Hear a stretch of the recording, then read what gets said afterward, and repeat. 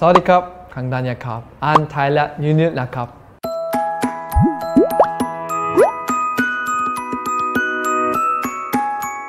10점인 것 같습니다. 일단 제가 진짜 오랜만에 한 1년 만에 방콕에 오게 된 것 같아가지고 너무너무 설레네요.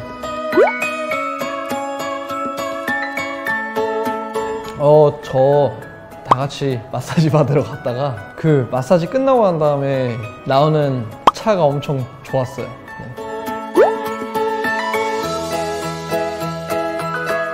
일단 항상 제 모습을 좋게 봐주시는 팬 여러분이 있기에 그런 투표? 투표 결과에서 항상 좋은 결과를 얻었던 것 같고요. 너무너무 감사드리고 어, 저는 제, 제가 뭔가 퍼포먼스 가수로서 최고의 모습을 보여드리고 싶은 게 제 욕심이 있습니다.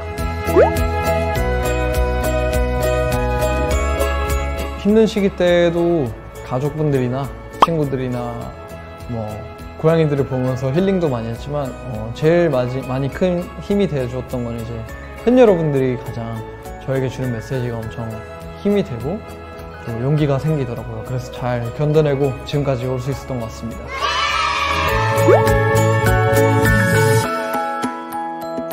저는 유교맨이라는 단어를 좋아하는데요.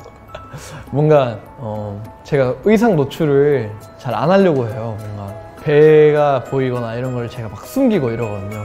그래가지고 아 완전 유교 사상의 뭐 그렇게 하셔가지고 되게 그냥 재밌게 웃으라고 그냥 만들어 주신 단어인데 좀 뭔가 유교맨이라는 단어가 뭔가 힙스럽기도 하고 힙합스럽기도 하고 그래가지고 네, 마음에 드는 것 같습니다. 제가 이번 앨범에서는 제가 랩을 안 보여드린 것 같아서 꼭 다음 앨범이나 다음번에 기회가 된다면 이제 제 목소리로만 가득한 랩곡을 들려드리도록 하겠습니다. 네, 이제 저희 첫 솔로 데뷔 앨범인 Color on Me는 다섯 개의 트랙으로 구성된 곡이고요. 그리고 앞으로 제가 만들어 나갈 색깔에 대한 그런 자신감에 대한 포부도 가지고 있는 같이 담겨 있는 곡이 같이 담겨 있는 앨범인데 많이 많이 들어주시고 많이 많이 앞으로 저희 음악을 기대해 주셨으면 좋겠습니다.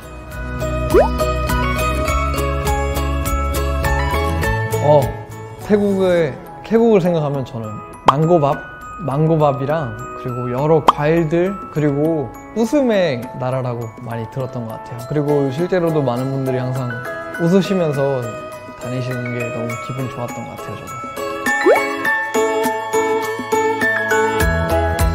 일단 저를 이렇게 오랜만에 만나도 다시 한번 엄청 열정 있게 반겨주셔서 너무너무 감사드리고요. 그리고 곧 있으면 저희 팬미팅 뭐 시작하는데 제 팬미팅도 많이 즐겨주시고 저희 모습도 많이 기대해 주시면 좋겠습니다. 감사해요.